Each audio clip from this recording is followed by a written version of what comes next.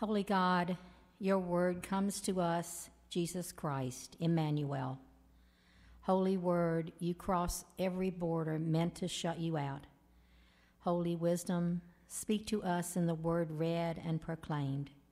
Hearing, may we dream your dreams and faithfully follow wherever you lead. In your triune name we pray. Amen. Our second scripture is from Matthew, the second chapter, verses 13 through 23. When they had gone, an angel of the Lord appeared to Joseph in a dream. Get up, he said. Take the child and his mother and escape to Egypt. Stay there until I tell you, for Herod is going to search for the child to kill him. So he got up, took the child and his mother during the night, and left for Egypt, where he stayed until the death of Herod. And so was fulfilled what the Lord has said through the prophet Out of Egypt I called my son. When Herod realized that he had been outwitted by the Magi, he was furious, and he gave orders to kill all the boys in Bethlehem and its vicinity who were two years old and under. In accordance with the time he had learned from the Magi, then what was said through the prophet Jeremiah was fulfilled. A voice is heard in Ramah, weeping and great mourning. Rachel weeping for her children and refusing to be comforted because they are no more. After Herod died, an angel of the Lord appeared in a dream to Joseph in Egypt and said, Get up, take the child and his mother, and go to the land of Israel, for those who were trying to take the child's life are dead. So he got up, took the child and his mother, and went to the land of Israel. But, he, but when he heard that Archelaus was reigning in Judea in place of his father Herod, he was afraid to go there. Having been warned in a dream, he withdrew to the district of Galilee, and he went and lived in a town called Nazareth. So was fulfilled what was said through the prophets that he would be called a Nazarene. The word of the Lord. Thanks be to God.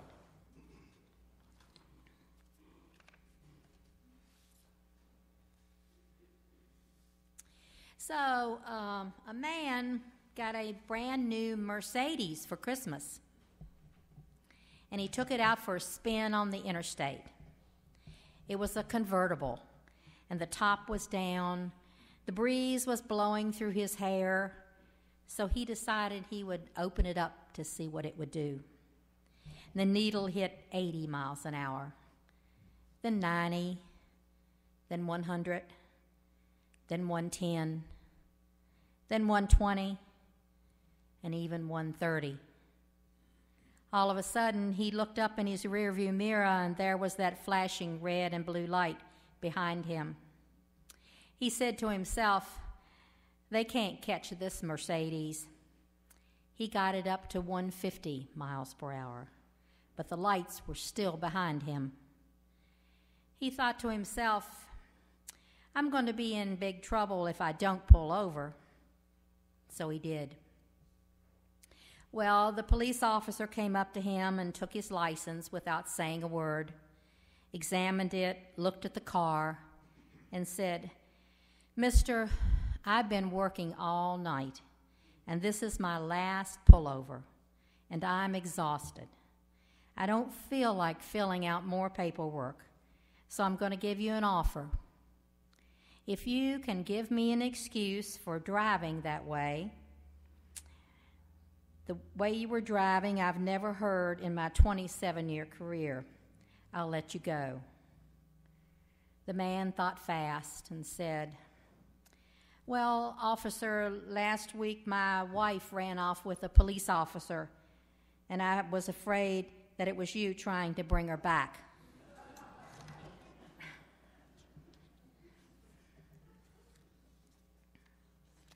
So I hope you don't have to return any of your gifts this year. So, do you still have your Christmas decorations up? Some people take theirs down right after Christmas. Others, like Richard and I, like to leave ours up until New Year's. It's nice to enjoy those 12 days between Christmas Day and Epiphany that we will be celebrating next Sunday, by the way.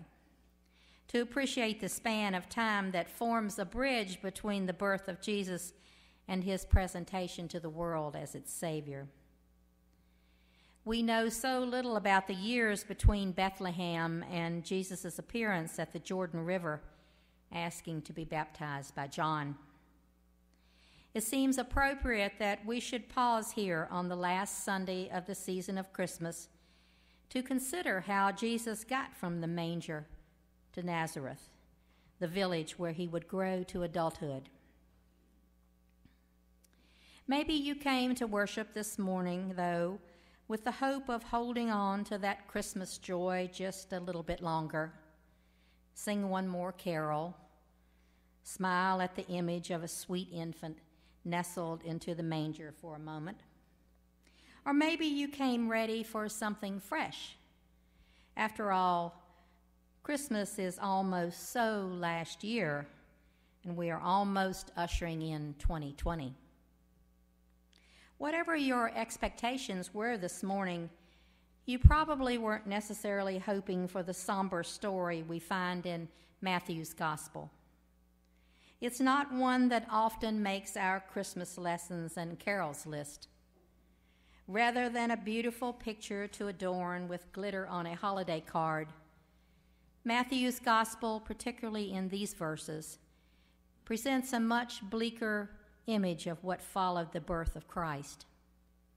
Perhaps even foreshadowing the events that will come some 30 years later.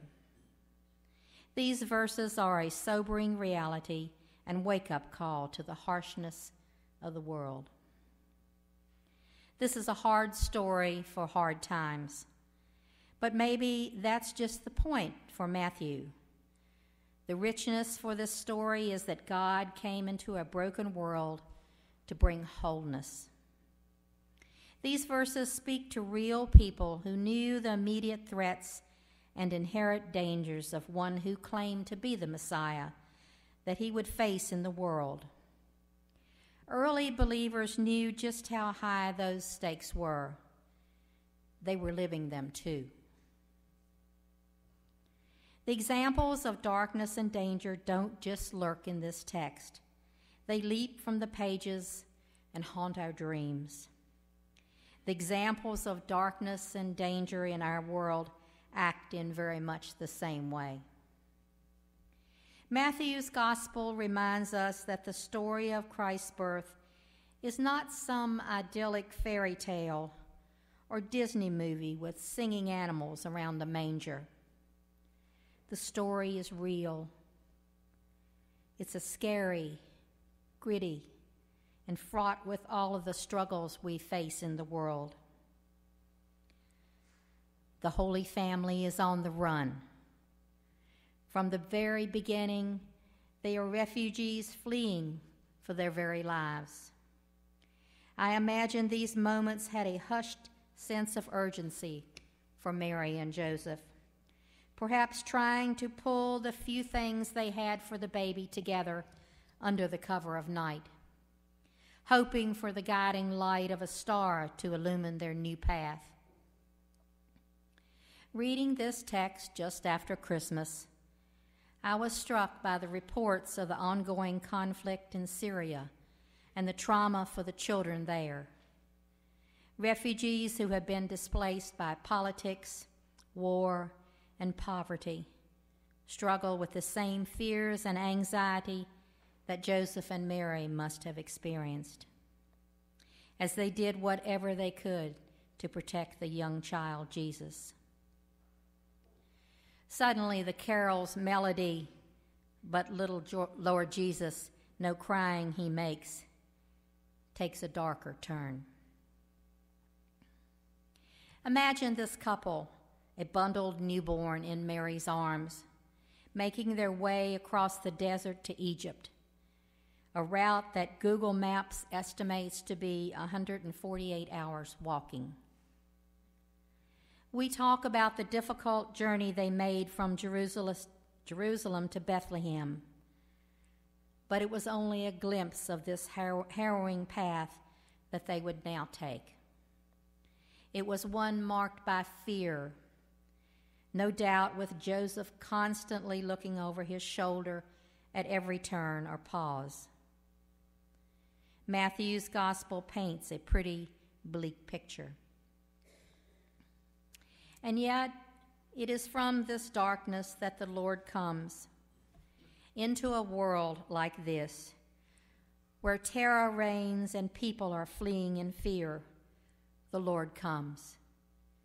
Into a world like this, where mothers sob endlessly at the loss of children, where grief overwhelms us, the Lord comes into a world like this where dreams seem dashed and nightmares become reality, the Lord comes. The light of the world has come, John's gospel proclaims. The light shines in the darkness, and the darkness shall not overcome it. Matthew's gospel brings us this good news too, with the promise of the dawning of a new day. The fears and concerns and threats in the world may be great, but God's plans are even greater. The end of our passage this morning ushers, ushers in the promise of a new era for God's people, hinged on a fulfillment of the promises of old. This is what Matthew is known for the ability to link the past with the future and show his readers that God has been present through it all.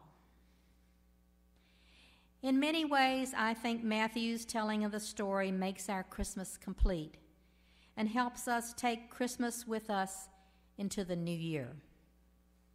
Long after the tinsel and trees have been packed away, Matthew's story of Christ's winding road stands as a witness to how committed God truly is to being with us and, and, and the lengths at which God will go to bring grace into the world and to us. Matthew's story reminds us to look for signs of God's presence, not just in the shining moments but in the difficult ones. And he assures us that God will be there. These verses proclaim that there truly is no situ- situation in life which our God does not understand. Through Christ, God has experienced all that life in this world entails including those moments that are hidden in shadows and darkness, trapped by fear and grief. This is where the light of the world begins ministry, where we need it the most.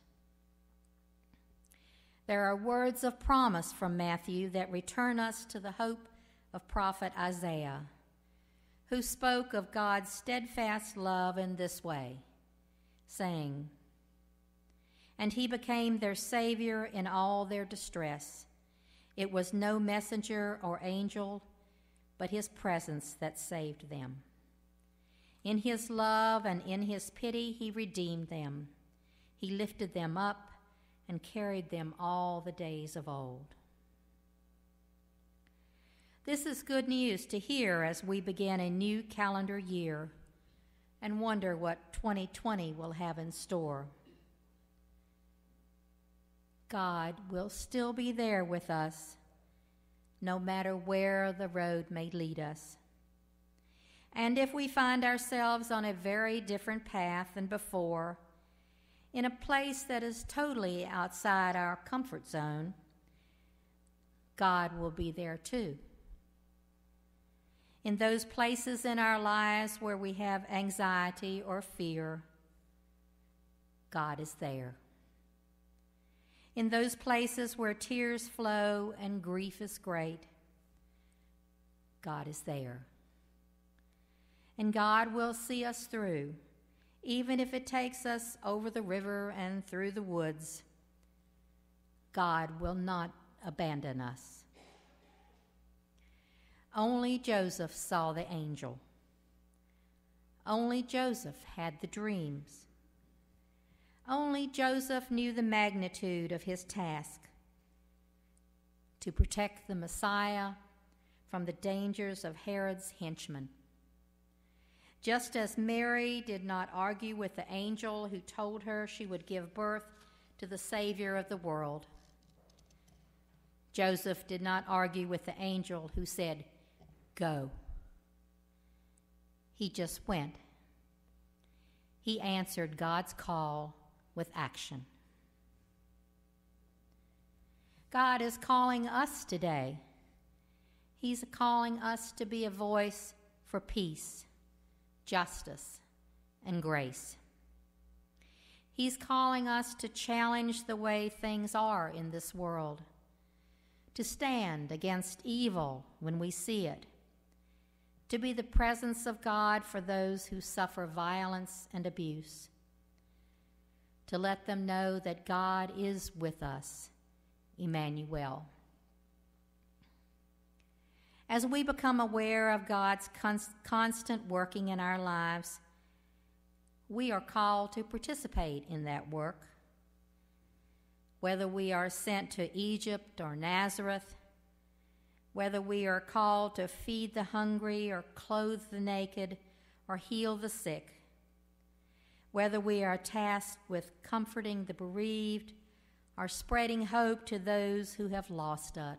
Lost it. God calls us.